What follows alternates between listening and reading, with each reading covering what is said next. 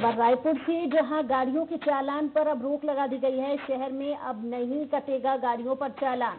Lockdown के दौरान आमजनों को हो रही परेशानियों को ध्यान में रखते हुए ये निर्णय लिया गया है कि डीजीपी डीएम अवस्थी ने इस आदेश को जारी कर दिया है। आम लोगों की सुविधा के लिए यह फैसला लिया गया है, यानी कि अब चालान नहीं काटे जाएँगे। रायपुर से इस वक्त की बड़ी खबर आपको बता रहे हैं।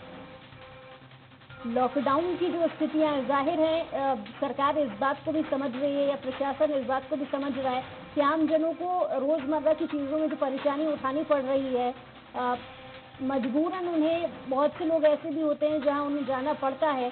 यानी कि अगर कोई ऐसी इमरजेंसी में बाहर निकल जाता है तो कई ऐसे केसेस ऐसे भी सामने आए थे जिन पर चालानी कार्रवाई हो गई थी। यानी ऐसी स्थितियों को देखते हुए लॉकडाउन में चालान काटने की जो कार्रवाई है, वो नहीं होगी।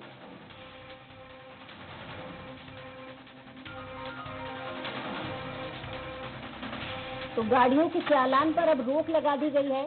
शहर में अब नहीं कटेगा गाड़ियों का चालान। लेकिन ये जो फैसला है, ये माना जा रहा है कि सिर्फ़ लॉकडाउन को देखते हुए किया गया है। और अब डबरा से आपको